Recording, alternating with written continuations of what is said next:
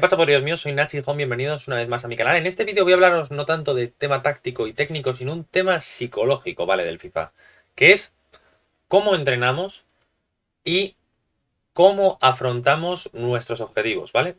Antes de nada, deciros que si queréis estar enterado de todo antes que nadie, os recomiendo que me sigáis en mis redes sociales y que si queréis que yo personalmente os ayude a mejorar al FIFA, porque no sabéis por qué no lográis cierto rango, porque no disfrutáis jugando el juego y porque en definitiva queréis ser mejores jugadores de FIFA, podéis ir a mi web para informaros del tema de las asesorías.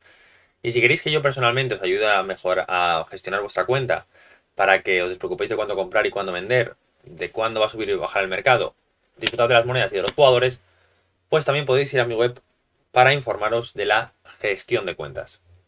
Bueno, en este vídeo quiero hablar de, eh, para mí, lo que son los tres pilares de un jugador de FIFA, lo que todo jugador de FIFA debería tener, que es autocrítica, entrenamiento y objetivos. Aquí debería poner objetivos realistas, ¿vale? Porque esto es muy importante. Lo primero, y vamos a empezar de abajo arriba, de objetivos realistas, entrenamiento, autocrítica, ¿vale? El primero de todos, los objetivos realistas. ¿Por qué? Esto lo he hablado sobre todo con, principalmente lo hablo con gente de asesorías, porque evidentemente es con la gente que más trato cercano tengo. Y esto lo hablo muy habitualmente, en el sentido de que eh, me encuentro personas que, empiezan en, clases y em, practican una mecánica y a los tres días no les sale y se frustran y dicen que no valen para lograrlo o es imposible o es que no me sale y qué asco, no sé qué. Bueno, no me dicen qué asco, tal, algunos sí habrá dicho eso, pero no por lo menos no a mí.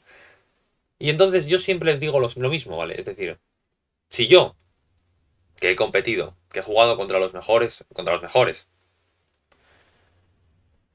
he tardado años en dominar lo que yo hago, ¿por qué tú, que eres una persona normal, que igual tienes el mismo potencial que yo, o mucho más, ¿por qué tú vas a dominar lo que yo he tardado y lo que todo el mundo que ha competido ha tardado años en dominar en tres días? ¿Qué te hace distinto? Y a esto me refiero con objetivos realistas. Es que hay mucha gente, y esto me lo encuentro a pares, gente que está en quinta, que se exige más de lo que me exigía yo cuando yo competía.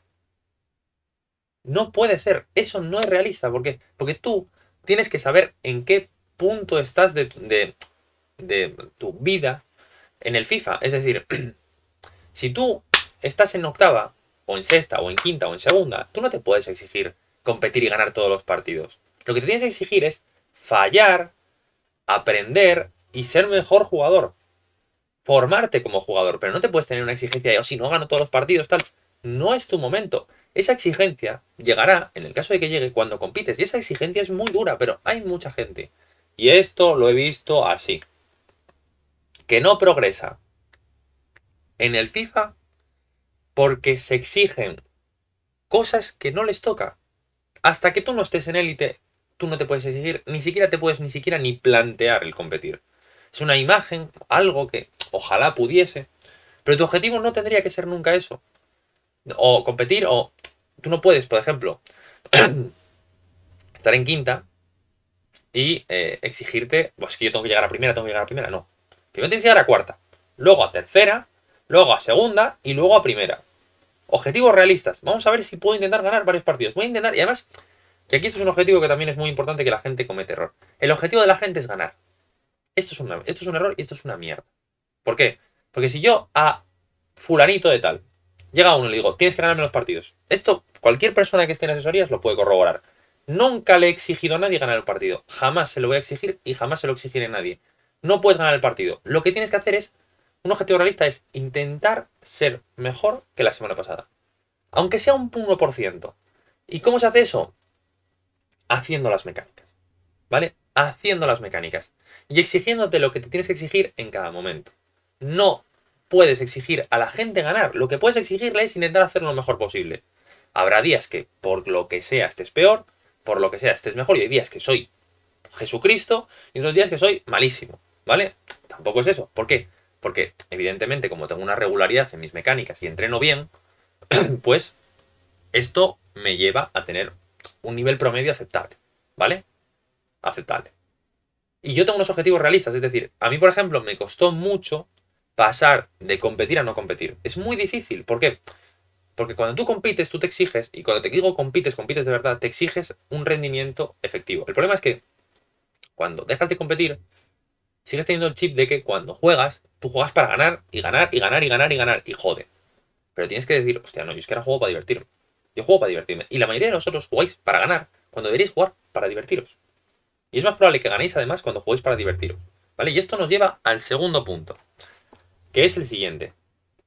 El entrena, que ya hemos, ya hemos cumplido objetivos realistas, vamos al entrenamiento. y esto em, me lo decían mucho y esto totalmente realista. Se juega como se entrena. ¿Vale? Se juega como se entrena. ¿Ya que me refiero con esto? Lo que tú no. Esto, esto es 100% eh, real. Tú, cuando estás en una situación de tensión en un partido de FIFA, vas a tender a hablar, o sea, vas a tender a utilizar lo que conoces. Lo que conoces. No vas a empezar a improvisar. Nadie improvisa en los partidos. Dirás tú, sí, bueno, cuando te enfrentas a un partido de verdad en el que estés a máxima tensión, que el rival te exija al máximo, ya te digo yo que no vas a tener tiempo a pensar y vas a, tirar de lo que funciona. O sea, de lo que a ti te funciona. Y aquí es donde entra el se juega como se entrena. Es decir, si tú cuando estás entrenando, y esto se lo digo muchísimo a la gente de asesorías, y insisto, ¿vale? La gente de asesorías esto lo, tiene más mamado porque evidentemente, eh, pues hablo con ellos todos los días y quieras que no, pues les inculco estos valores. Pero se juega como se entrena. Tú, si cuando tú te enfrentes a un rival al que vas a pulir de paliza, hagas las mecánicas o no, no hagas las mecánicas, lo que va a pasar es que cuando te enfrentes al rival que verdaderamente sea bueno y necesitas las mecánicas, no las vas a aplicar. ¿Por qué? Porque no las tienes automatizadas. Tú tienes que entrenar. y esto, bueno, esto lo digo. hay un Excel que les paso siempre a los agentes de asesorías. Que pone. Aunque entrenes 30 minutos, tiene que ser 30 minutos al máximo. Al máximo y consciente de lo que estás haciendo. ¿Por qué? Porque tú tienes que entrenar bien, aplicando lo que, lo que sea que te haya explicado, eh, o lo que te toque a ti, porque tú igual estás viendo vídeos, y igual estás practicando la línea romana, o los desolamientos, o el cobarde valiente, o lo que sea, cualquier cosa, ¿vale? O, no caer en el efecto tridente, cualquier cosa, ¿vale? Cualquier mecánica del juego que esté dentro del canal. Tienes que practicarlo. Tienes que practicarlo y tienes que darle duro. Y aunque te toque un rival bueno, no puedes, ah, bueno, pues ahora golpijo y en vez de hacer entre dos y cuatro medias lunas, pues bueno, pues eh, hago esto y ataco por el medio haciendo el efecto Leónidas porque yo soy el puto amo y bueno, voy a ver si me puedo driblar a todo el equipo contrario. ¿Qué va a pasar? Que eso se va a instalar en tu puto cerebro y cuando vayas a jugar contra un tío que de verdaderamente sea bueno, vas a decir tú, uff, efecto, bueno, ataco, ataco, ataco, y, tu cerebro va a tender a hacer inconscientemente esto. A intentar tirar, o igual, bueno, yo como soy muy bueno técnicamente, pues ¿para qué voy a hacer el desdoblamiento? Pues, pues ataco por el extremo y regateo y me enfrento a situaciones dos para uno, pero como me, va, me vale, pues me regateo el tío y entro. ¿Qué va a pasar? Cuando te enfrentes al rival que no puedas driblar, tu cerebro va a decir, uy, automáticamente vas a concentrarte y vas a hacer este movimiento todo el rato. ¿Por qué? Porque es el que llevas practicando durante todo, todo el tiempo. ¿Qué crees? Que de pronto vas a decir tú, no, es verdad. Me acuerdo de un vídeo de Natch en el que eh, me hacía el desdoblamiento, L1X desdoblamiento, y me generaba aquí una situación de superioridad numérica 2 para 2. Todo esto mientras está presionando el rival y vas perdiendo 1-0. ¿Tú crees que vas a pensar eso o no? Evidentemente no. Entonces, ¿qué pasa? Que vas a palmar. ¿Por qué? Porque no estás entrenando como debes. Y si a esto le sumas unos objetivos que no son realistas y que encima no te salen las cosas porque no entrenas como debes, ¿qué pasa? A la lona. ¿Vale? Y aquí llegamos al último punto que es uno de los que más me gustan, que es la autocrítica. ¿Vale? y aquí hay que hacer, hay que hacer una diferenciación máxima entre dos tipos de personas, ¿vale? La gente, bueno, para mí hay tres, dos que son la mayoría y, un, porcentaje muy pequeño que es el, que, en el que yo me incluyo. Hay gente que hace unas autocríticas salvajes desmesuradas respecto a su rendimiento, en el sentido porque generalmente viene el problema por esto, porque su objetivo es, están en cuarta y su objetivo es eh, ganar a NIT, que es el campeón de España, ¿vale? Entonces ya el objetivo no es realista, ¿vale? Para empezar. ¿Qué pasa? Encima, no entrenan correctamente porque lo que entrenan es para ganar y no para, para aprender. Están jodidos. Y cuando llegan aquí, eh, la, su conclusión de autocrítica es, eh, soy malísimo, soy una mierda, no sé jugar al FIFA, no tengo manos. Hombre, si te comparas con NIT, yo tampoco tengo manos, seguramente, ¿vale?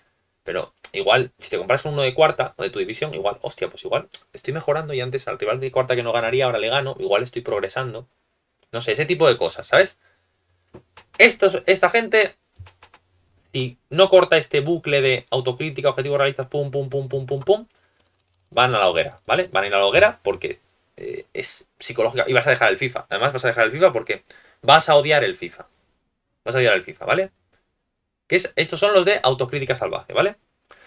Luego está un segundo grupo que es los, los sublimes, los, los pros, los, dioses, que es, no, no, yo eh, realmente yo debería, yo estoy en, estoy en octava, pero yo debería estar en primera, objetivos realistas no tiene, y yo, bueno, cuando juego, juego muy bien, entreno muy bien, ni de coña, pierdes todos los partidos, hijo de puta.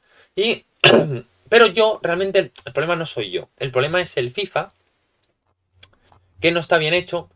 Y eh, yo realmente hago todo bien, pero el FIFA me roba. Luego les ves jugar, no hacen una puta mecánica bien y dan asco. Y esa gente se creen que pues, realmente juegan muy bien al FIFA.